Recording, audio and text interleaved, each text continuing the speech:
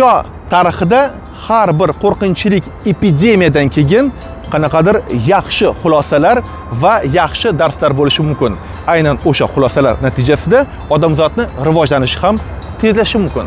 Assalomu alaykum hurmatli do'stlar. Mister otabek tv kanaliga va butun amerika qo'shma shtatlari bo'yicha eng koronavirus bo'yicha epitsentr bo'lmish nyu york shtatiga xush kelibsizlar. Xo'sh har bir epidemiya qanaqadir plyuslar qoldiradi bizga. Kerakli xulosalar va natijada bizni rivojlanishimizda aynan o'sha plyuslar juda katta yordam berishi mumkin. Masalan 18 asrda paydo bo'lgan xolera va e, sariq lixoradka bizga butun dunyo miqyosida suv ta'minoti sistemasini o'rgatdi. 19 asrdagi tuberkulyoz bizga elementar gigiyena qoidalarini o'rgatdi. 20 asrda paydo bo'lgan polimerit vabosi bizga har bir basseynni xlorka qilishni o'rgatgan edi. Lekin bugungi kundagi pandemiya koronavirus bizga nimani o'rgatishi mumkin? Qolaversa koronavirusni qanaqa yaxshi tomonlari bor? Hurmatli do'stlar ushbu video orqali bugun sizlarga koronavirusni 5 ta eng yaxshi tomonlarini aytib beraman. Ushbu videoni oxirigacha ko'rsanglar bu turgan chiroyli joylarini qisqacha tarixini ham aytib berishim mumkin. Demak ushbu videoni tomosha qilishni boshlaymiz.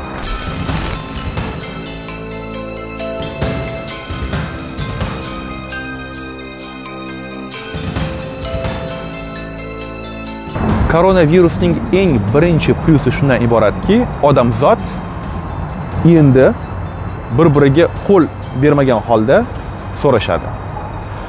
O'zi shou biznesda shunaqa bir vakillar borki ular bilan anchadan beri salomlashmay qo'yganman chunki ularni hurmat qilmayman shunaqalari ham bor.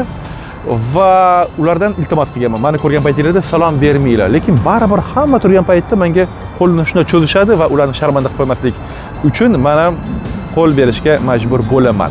Lekin hozirda bemalol ularga qo'l bermasam bo'ladi. O'zi uels universitetini rasmiy xabarlariga qaraganda har bir odam butun hayoti davomida o'rtacha 15 marotaba kimdir bilan e, qo'l berib so'rashadi. Va qo'llarimizda hamisha 32 ming bakteriyalar bor. Bu kolorado universitetini e, rasmiy xabarlari. Har safar biz birortasi bilan so'rashgan paytimizda bizni 32 ming bakteriyalarimiz boshqa odamga o'tib ketadi va uning 32 mingta bakteriyasi bizga o'tib ketadi.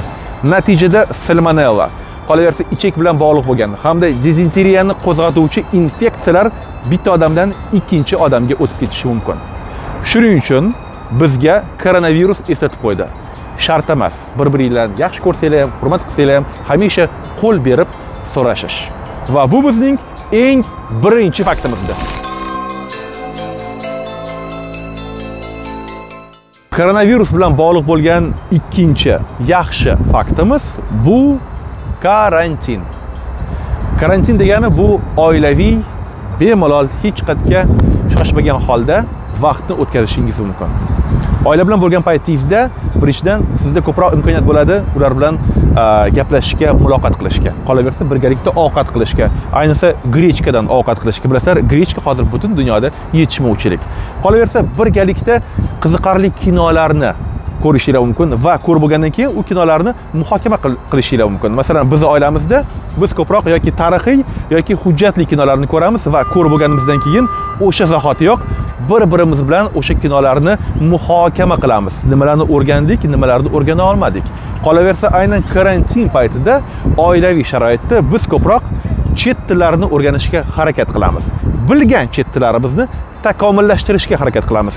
Har kuni yigirmata o'ttizta ellikta yangi so'zlarni o'rganib bir birimizga o'sha so'zlarni aytib u so'zlar bilan bog'liq bo'lgan yangi gaplarni tuzamiz va bilamizki ingliz tilida ikkita lug'at bor ya'ni faol va nofaol.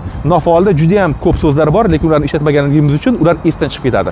Karantinda esa aynan nofaol lug'atdan barcha so'zlarni faol lug'atga bemalol o'tkazishimiz mumkin. Demak bugungi karantin bu ikkinchi faktimiz edi.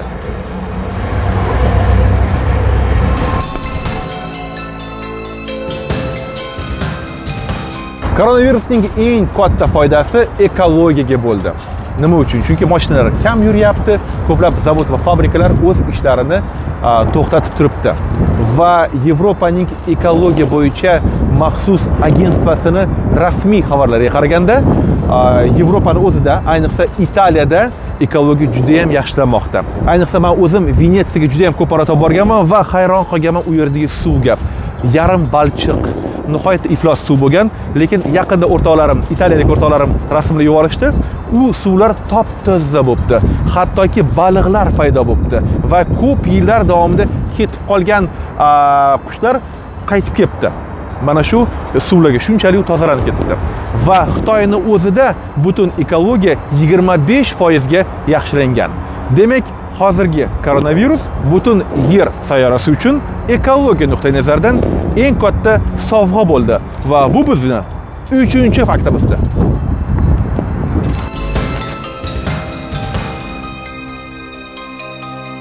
odatda biz shamollagan paytimizda ishga chiqib ketamiz aylangan chiqib ketamiz yoki choyxonaga boramiz hamma narsa qilamizki bitta narsani qilmaymiz xolos.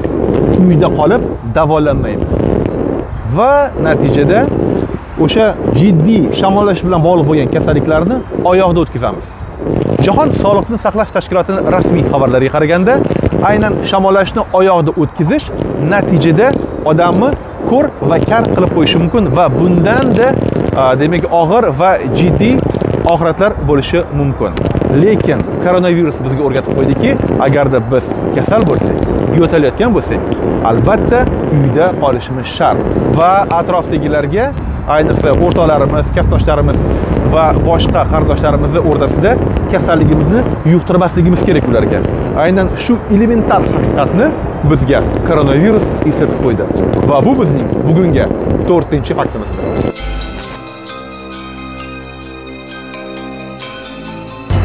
demak videoni oxirida sizlarga va'da bergandim. Ushbu men turgan joyni qisqacha tarixi e'tibor bering bu bruklin ko'prigi dunyoni ko'priklar qurish tarixida eng birinchi marotaba ilmiy tarzda qurilgan ko'prik shu hisoblanadi. O'z vaqtida odamlar juda ham qo'rqishgan bu ko'prikdan o'tishga va bir ayol oyog'ini qayirib olgan paytda yiqilib tushgan paytda e, ko'pchilik qo'rqib ketgan va kimdir e, ko'prik qulayapti degan va bu yerda odamlar bir birini ustidan yugurib o'tib ketishgan natijada ko'plab odamlar vafot etgan edi. Undan keyin odamlar qo'rqishgan bu ko'prikdan o'tib ketishga.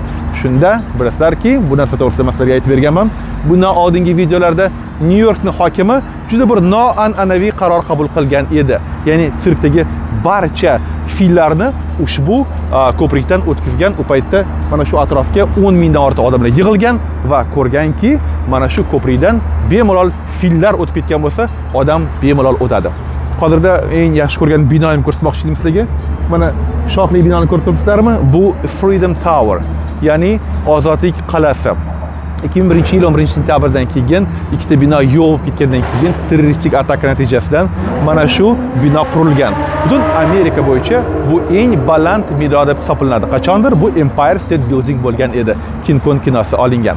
Ushbu binoni uzunligi bir ming yetti yuz yetmish olti fut ya'ni amerikaning mustaqilligi yili bir ming yetti yuz yetmish oltinchi yil. Mana shunday qiziqarli tarzda qurilgan va butun manhattanni ko'rib turibsizlar. Manhattan o'z vaqtida oddiy bir orol edi va hindularga tegishli bo'lgan. Lekin ushbu orolni e, hindularni aldagan holda yigirma o'ttiz dollarga taxminan sotib olishgan edi. Lekin hindular sezishgan ularni ahmoq qilishayotganini va ularni bir talabi bo'lgan. Biz ushbu orolni sotib olamiz lekin bitta sharti bor. Bu orolni abadiy bitta nomi bo'lishi kerak xolos. U ham bo'lsaki manhattan. Manhattan so'zini qadimgi hindularni tilidan o'zbek tiliga tarjima qiladigan bo'lsak uni javobi shunday. Bizni ahmoq qilishdi. Bilgan biladi. Bugungi video orqali biz bilib oldikki koronavirusni yaxshi tomonlarini ham lekin bu degani koronavirusni o'zi yaxshi degani emas. Bu juda qo'rqinchlik vabo va albatta pandemiya. Undan qutulish yo'llari juda ham oson. Biz birlashishimiz kerak. Chunki bundan oldingi epidemiyalar ko'rsatib turibdiki agarda bittagina uyda issiq sovuq suv bo'lmasa va bu uy iflos bo'lsa buni zarari butun shaharga butun davlatga va butun sayyoraga ham tegishli bo'lishi mumkin. Kuch birlikda qachonki barchamiz birlashgan holda har xil qo'rqinchli siyosiy o'yinlaru va urushlarni unutgan holda birgalikda ishlasak demak shundoq qo'rqinchli vabolarni birgalikda yo'q qilamiz. Va har bir insonni mas'uliyatli tomoni shundan iboratki gigiyena nuqtai nazaridan har yarim soatda qo'llarimizni issiq suv bilan sovun bilan yuvamiz 20-30 sekund davomida. Sovun bo'lmaydigan bo'lsa demak antiseptikni ishlatamiz. Ko'chaga chiqqan paytda albatta perchatkalarni va maskalarni ularsiz yurib bo'lmaydi bir birimizdan bo'lgan masofa bir metr bir yarim metr ko'rishgan paytda qo'l berish shart emas quchoqlashish o'pishish shart emas. Gigiyena qoidalariga amal qilishimiz shart va albatta karantinda bo'lishimiz kerak.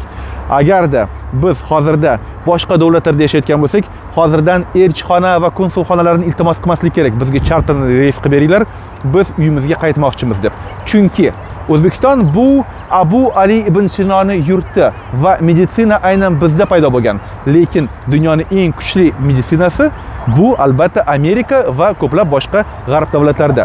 Demak biz hozirda yashayotgan joyimizda to'xtagan holda hozirda butun pandemiyani o'tib ketishini mana shu yurtlarda kutib olishimiz kerak. Va hammasi tugab bo'lgandan keyin bemalol yorug' yuz bilan o'zbekistonga borsak bo'ladi.